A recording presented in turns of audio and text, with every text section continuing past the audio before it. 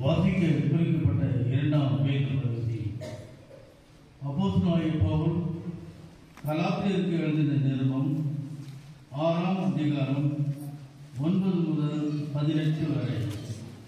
கலாத்தியர் ஆறாம் அதிகாரம் ஒன்பதாம் வசனம் முதல். நன்மை செய்கிறதுனாலே தோற்று போமாக. தோற்று போகாதிருப்போமாக. நாம் தளர்ந்து போகாதிருந்தால் ஏற்ற காலத்தில் அறுப்போம்.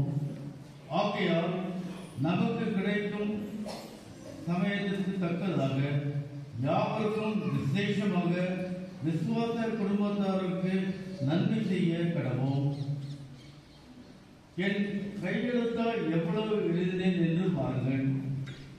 மார்மீசத்தின்படி நல் வேஷம் காண விரும்புகிறவர்கள் எவர்களோ அவர்கள் தாங்கள் கிறிஸ்துவனுடைய சிலுவை நிமித்தம் துன்பப்படாதபடிக்கு உங்களை விருத்த சேதனம் பண்ணிக்கொள்ள கட்டாயம் பண்ணுகிறார்கள் விருத்த சேதனம் அடைந்திருக்கிற அவர்கள் நியாயப்பிரணாமத்தை கண் கைக்கொள்ளாமல் இருக்கிறார்கள்.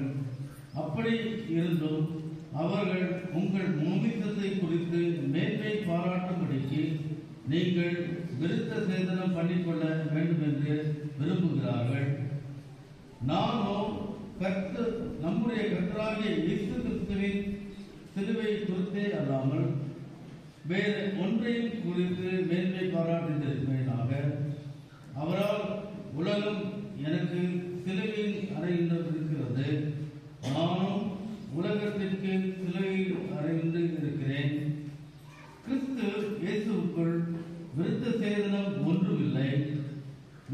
சேதனம் இல்லாமையும் ஒன்றுமில்லை.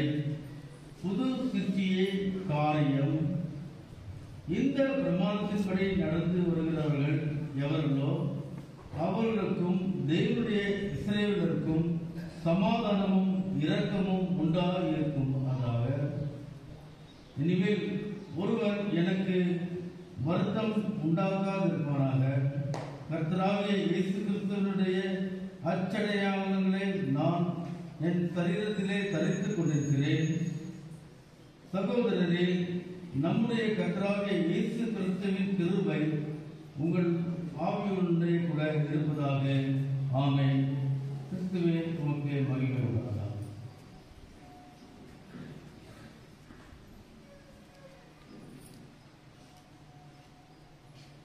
இப்பொழுது